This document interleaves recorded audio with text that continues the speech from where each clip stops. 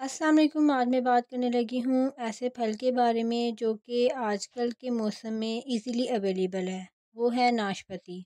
इसके क्या health benefits हैं और ये किन किन डिज़ीज़ को ट्रीट करने में हेल्प करता है? इसके अलावा ये किस तरह से हमारे वेट लॉस में हेल्प करता है? सबसे पहले बात करते हैं न्यूट्रिशन वैल्यू की। हंड्रेड ग्राम पेयर में मैक्सिमम फिफ्टी एट कैलोरीज होती हैं। कार्बोहाइड्रेट की बात की जाए तो फिफ्टीन पॉइंट टू ग्राम होता है। फ़ैट इसमें ज़ीरो पॉइंट फोर्टीन ग्राम होता है, protein zero point thirty six gram होता है।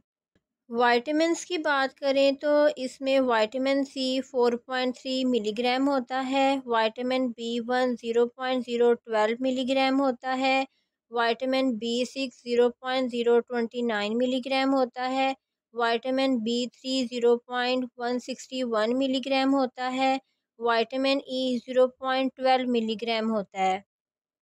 इसके अलावा अगर मिनरल्स की बात की जाए तो आयरन इसमें ज़ीरो पॉइंट एटीन मिलीग्राम होता है, फास्फोरस ट्वेल्व मिलीग्राम होता है, पोटाशियम वन सिक्सटी मिलीग्राम होता है, जिंक इसमें ज़ीरो पॉइंट वन मिलीग्राम होता है, कैल्शियम नाइन मिलीग्राम होता है।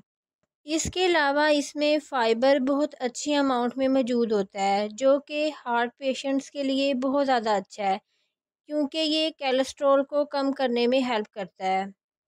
आपकी डाइजेशन को इम्प्रूव करता है, इसके अलावा ये इन लोगों के लिए बहुत ज़्यादा अच्छा है, जिन लोगों को कॉन्स्टिपेशन का प्रॉब्लम रहता है।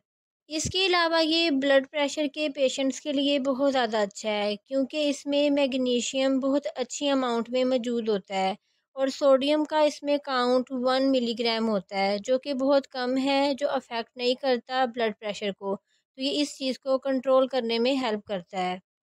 इसके अलावा ये एक हेल्दी स्नैक के तौर पर भी यूज़ किया जा सकता है स्पेशली जो डायबिटिक पेशेंट्स हैं इनके लिए, क्योंकि इनको स्नैक टाइम में कुछ ऐसा चाहिए होता है, कुछ हेल्दी चाहिए होता है जो इनको काफ़ी देर तक फीलिंग ऑफ़ फुलनेस भी दे और इनका जो स्नैक टाइम है वो भी पूरा हो जाए।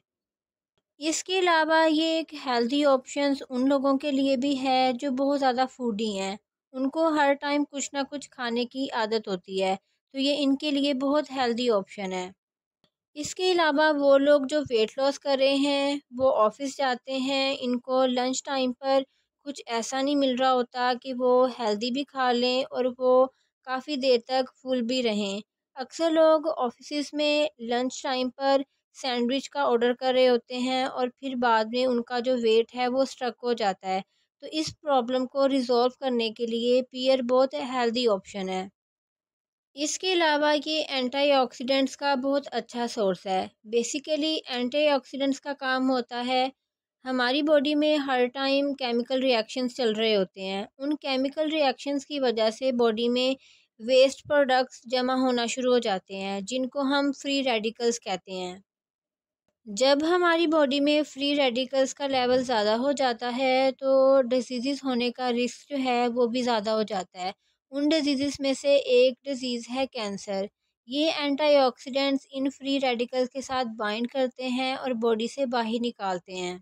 तो इस लिहाज से ये कैंसर के ट्रीटमेंट में भी हेल्प करता है। इसके अलावा एंटीऑक्सीडेंट जो हैं, ये हमारे मेटाबॉलिज्म को फास्ट करने में भी हेल्प करते हैं।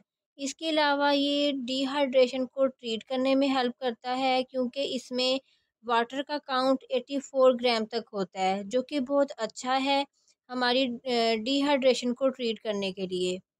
इसके अलावा ये विटामिन सी का बहुत अच्छा सोर्स है, जो कि आपके कैलोरी बर्निंग प्रोसेस को फास्ट करने में हेल्प करता है। इसके अलावा ये अनीमिया को ट्रीट करने में हेल्प करता है, क्योंकि इसमें आयरन का काउंट बहुत अच्छी अमाउंट में है। तो ये इस लिहाज से भी बहुत अच्छा है। तो जी, ये थी मेरी आज की वीडियो। आई होप सो ये आपके बहुत काम आएगी। तो मिलते हैं नेक्स्ट वीडियो में। तब तक के लिए अल्लाह हाफिज़।